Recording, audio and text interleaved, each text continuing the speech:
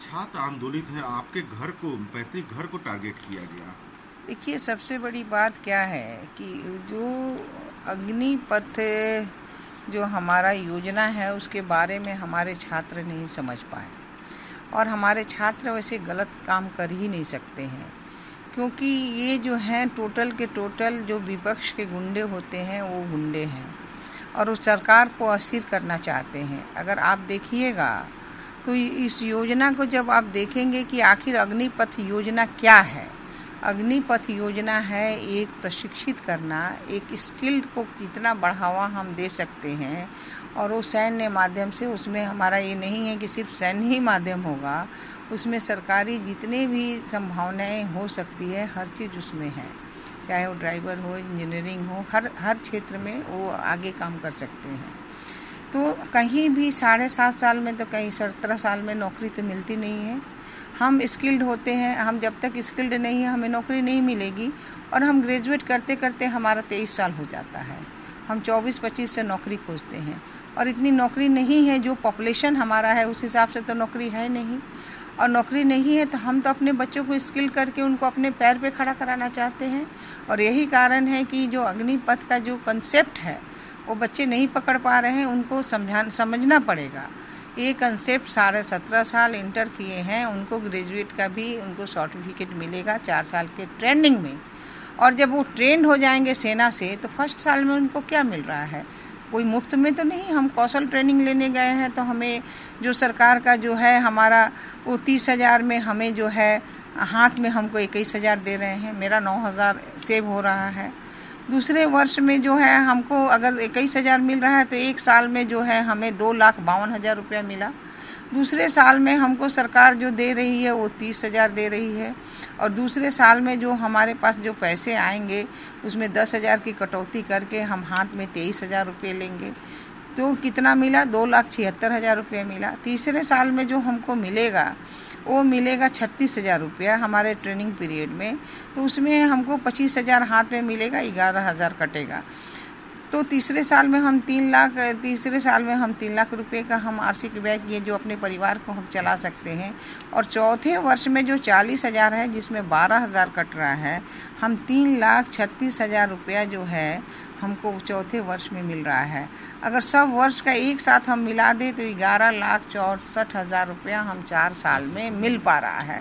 अब बताइए कि कौन सा हम काम करते रहेंगे एजुकेशन में कि हमको इतना पैसा मिलेगा? कोई स्किल्ड भी हम नहीं हैं, और इसमें हम स्किल्ड भी हो गए और ग्यारह लाख चौंसठ हज़ार तो हमें हाथ में मिला।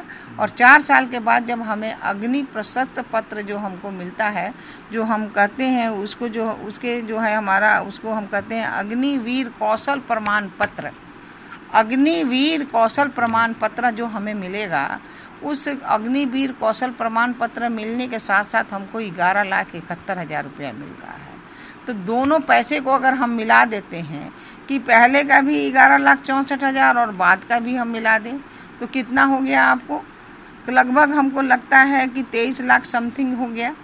तो तेईस लाख समथिंग तो हम अपने ट्रेनिंग पीरियड में हम गेन कर लिए।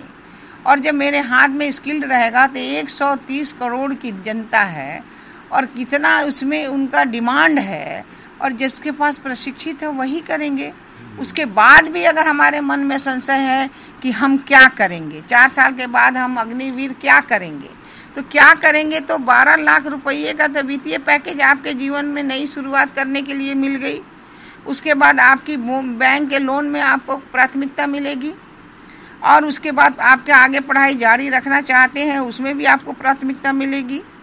बारहवीं में अगर समकक्ष प्रमाण पत्र के आगे की पढ़ाई के लिए विजिंग कोर्स की भी व्यवस्था आपको की गई है।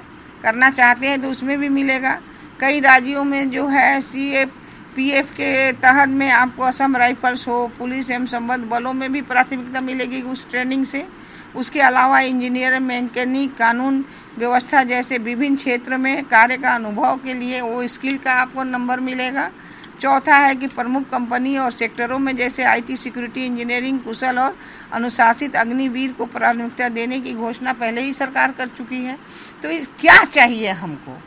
जब हम स्कॉलरशिप में हम कर रहे हैं, हम चार साल में अपनी पढ़ाई भी जारी रखें और हम अपना स्कॉलरशिप कर रहे हैं, क्योंकि हमें तो उस समकश का हमको ट्रेनिंग मिल रहा है। जब ट्रेनिंग मिल रहा है तो इसको कौशल विकास का हम कहेंगे कैसे हम कौशल विकास करते हैं। तो छोटा ट्रेनिंग होता है, ये बड़ी ट्रेनिंग है, आपको बड़ा पैसा मिलता है। उसमें जो हमारे स्किल्ड बच्चे होंगे, उसमें ट्वेंटी फाइव परसेंट चले जाएँगे। जो अनस्किल्ड होंगे, वो इस सब क्षेत्र में जाएँगे। घर में आके स्किल्ड बच्चा कभी घर में बैठता है क्या? तो ये जो है, जनता को, छात्र को गुमराह करने के लिए ये विपक्षी नेता अपनी रोटी सेक रहे हैं। और जनता का सामान का सत्यानाश कर रहे हैं, जो हमारा गाड़ी कमाई का, चाहे ट्रेन हो, चाहे स्टेशन हो, चाहे किसी की प्राइवेट प्रॉपर्टी हो, इन सबको अगर नाश करने का कोई काम किया है तो ये विपक्ष के गुंडे जो हैं, वो काम कर रहे हैं। भाजपा के मंत्री, भाजपा के अध्यक्ष, भाजपा कार्यालय पे हमला हो रहा है। बेतिया, सासाराम में भाजपा कार्यालय पे आपके अध्यक्ष के घर आवास नहीं सबसे बड़ी सबसे बड़ी बात है कि ये भाजपा को टारगेट बनाया है क्योंकि भा, भाजपा के मंत्री ने मंत्री तो हैं जो हमारे केंद्र सरकार के मंत्री हैं इंडिया के मंत्री हैं लेकिन इनको टारगेट बनाया जा रहा है क्योंकि विपक्ष की रोटी सिकाई नहीं हो रही है और सरकार एकदम सशक्त है तो ऐसे गुंडों पर जितनी कड़ी से कड़ी कार्रवाई हो सके उसको करने की आवश्यकता आपके यहाँ कितना हानि हो पाई है? हानि हुआ है वो तो देखेंगे जनता देखी है कि कितना हानि हुआ है। गाड़ी भी आपकी एक सब सब सब हानि दिखाई पड़ रहा है। ये नहीं कर सकता है। ये रचे हुए विपक्ष के नेताओं का जो साजिश है वो साजिश का खुलासा हो रहा है और खुलासा हो भी जाएगा और इस पर जितनी कड़ी कार्रवाई हो सकती है उतनी करने की ज़रूरत है।